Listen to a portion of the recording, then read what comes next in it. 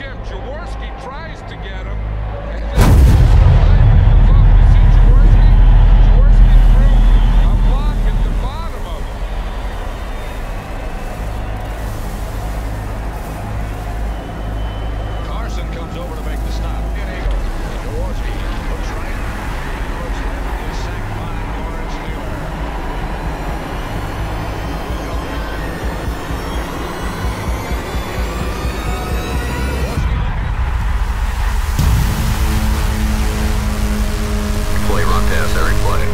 I, well, what? Because I tell that quarterback. He comes up the line, doesn't really care. It's a run.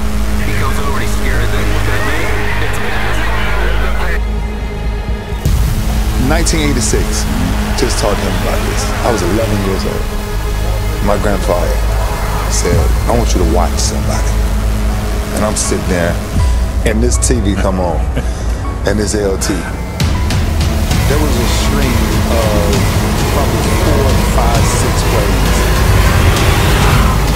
I didn't care about watching nobody else, but actually watching his impact on hitting other men.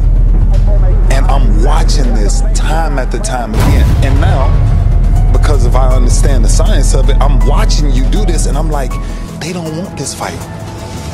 They don't want this fight. The moment I see, and that's why, that's why I'm just, let me be a kid for a minute, okay? Y'all bear with me, because me a kid. now, the bottom line was, I'm a kid watching this. And I'm saying, where does that come from? Where, how do you know you can just beat another man like that? And that's where I think the mentality of, of, of, of the greatest of all time really starting that. I'm telling you, you don't realize There were many sleepless nights. You played New York twice a year. Towards the middle of the week, something would just come over you and you just start sweating. My last year in the league, opening day, he just looked at me and laughed. Right there, I thought I had to get out of this league. The dude ended up quitting after that season. There's something about Lawrence Taylor that is larger than life.